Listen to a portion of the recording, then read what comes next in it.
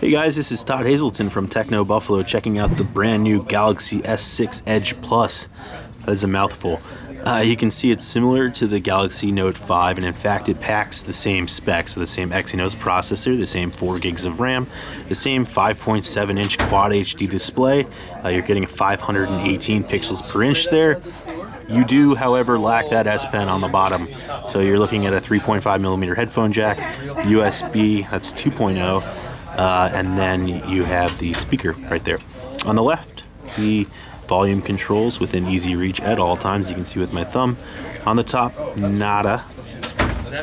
On the back, back's a 16 megapixel camera, and you've got the, uh, I believe that's the same sensor that we saw in the Galaxy S6, so we already know it's a, a, really sweet camera.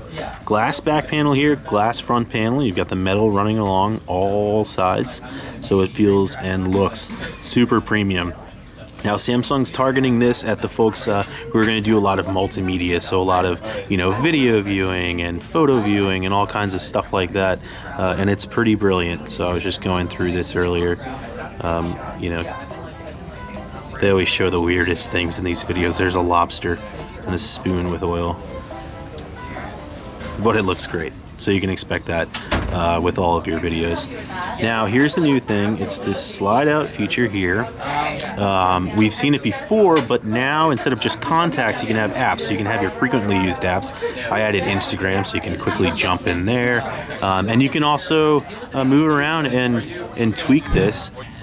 Yeah, so here you see the edge lighting is on, people edge is on, apps edge is on, information stream is on. So you can get all through uh, your apps, your notifications, your updates, all kinds of stuff like that. There's not much going on here.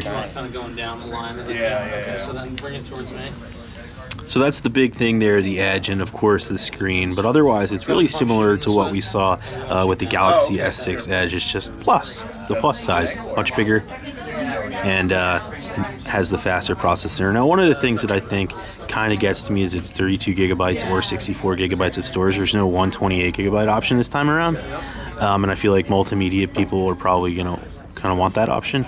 Uh, and we had it with the Galaxy S6 Edge. But otherwise, it does have all kinds of nice features like uh, Qi and PMA quick charging, uh, that th large 3000 milliamp hour battery that charges just as quick as the Galaxy S6 did. Um, with the quick charge through here on the bottom and uh, other niceties like Samsung Pay and the fingerprint reader in the home button. In any case, just wanted to show you a quick look here at the Galaxy S6 Edge Plus. This is Todd Haselton from TechnoBuffalo.